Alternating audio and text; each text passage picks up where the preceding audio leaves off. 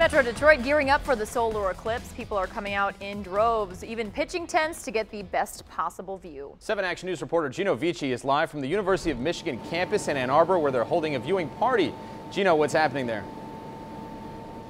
Well, Simon Brand, you know, these are some pretty dark shades, but the experts warn these are simply not going to cut it. As you mentioned, there is a viewing party here at the Diag tomorrow for the solar eclipse. You know, we spoke to many people on campus here tonight. Uh, viewing for this party is the seating is limited, but people we spoke with here tonight say they're excited about watching it anywhere.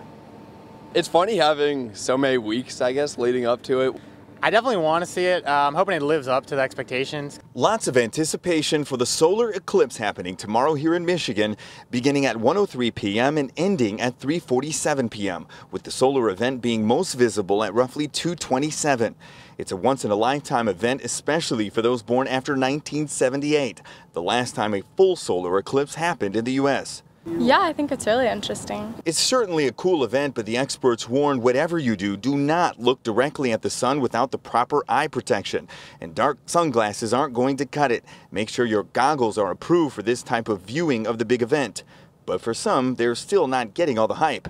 So I don't I'm buying into too much, but at the same time, seeing that an entire nation is going bananas over this thing is still pretty cool. Hype or no hype, a full solar eclipse could be a once-in-a-lifetime astrological event.